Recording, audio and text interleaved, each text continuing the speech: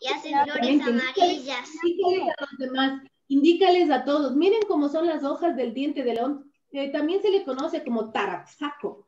Taraxaco. Oiga, haráse un tecito de taraxaco y les invito a buscar los beneficios del taraxaco. Un montón. Bien, atención. Muy bien, Leandro.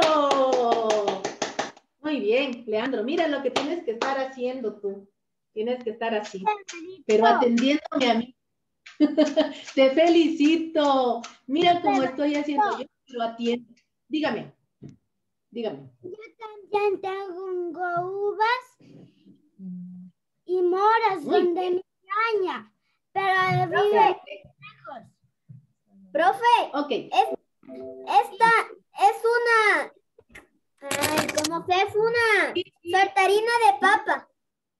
Lo sé, muy bien, te felicito. Oigan, chiquillos, miren la hoja número 53 y aquí tenemos plantas silvestres que no fueron cultivadas y crecen de forma natural y otras plantas que hay que cultivar.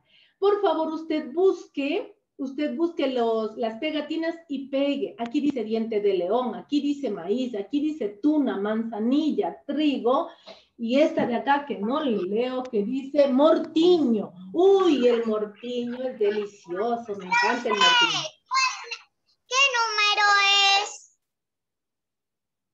53, mi amor. 53. Ya. Y peguen aquí las, las pegatinas con las mismas eh, Profe, letras. Ya la tengo acá al lado. Vale. ¿puede dejar ahí la imagen para que vea mi mami? Y luego aquí usted dibuja una planta cultivada y acá dibuja una planta silvestre. Dibuje una planta cultivada y dibuje una planta silvestre. Así de las que propusimos ahora en clase. ¿Qué página, profe? Ya acabé, profe Abelito. Muy bien. La 53, Rafaelita, por favor, necesito que los materiales los tengan listos antes de la clase. Dedito. Por favor, al, al que le llegue, le llego. Dígame. falta el sticker de la manzanilla, vino sin manzanilla. Mm, Bueno, ya ahí no se puede hacer nada. Que le dejen blanco. No hay más. ¿A los demás les llegó o no les llegó la manzanilla? No tiene. No, profe. ¿cuál es? llegó, profe